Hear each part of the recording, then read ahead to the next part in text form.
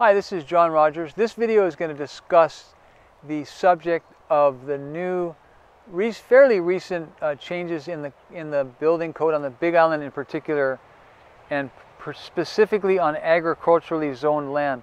Any land that has any type of agricultural zoning is allowed to build up to a 600 square foot barn or storage building without a permit, no permit required. Here are the rules as they are uh, dictated by the county. No plumbing and no electrical are allowed. Um, it's not allowed to be a workshop, uh, unfortunately. Um, that's just how the law is written. What, what you do with your barn or storage facility, should we build one for you, that is, is your business and not ours. But that's, that's just the law as it's written. So basically, you can build this structure. Um, now, the county, in the law, it does have the right, should someone complain about your building or whatever, they do have the right to inspect it.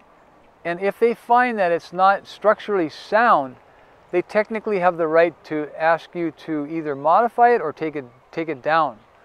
So basically, if you're going to build uh, a structure like this on your ag land, you want to build it basically to code, because in the future you might want to you want you might want to actually um, permit it as a workshop, and that will add value to the value of your property overall.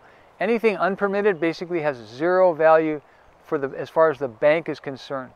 But if you need a storage building on your ag land, you can do up to a 600 square foot uh, storage uh, structure and we can design and build that for you. And if you have any questions about this, feel free to call us or shoot us an email. We're, we're really excited about this, this liberal change in the law. And now the, the other thing is that a shipping container is considered a storage structure. So you could have up to a 40 foot and a 20 foot shipping container both together on one property because that would be under 600 square feet without a permit. Having two 40 foot containers would not be allowed technically because two, two 40 foot containers is a total of 640 square feet. So it, it's just a little bit over that 600 square foot threshold. So anyway, this is a great law. Before you had to permit a shipping container on any, any land basically. So this is a really good step forward and we're, we're really thrilled about that change in the, in the code. And if you have any questions, again, email us or give us a phone call. Thank you.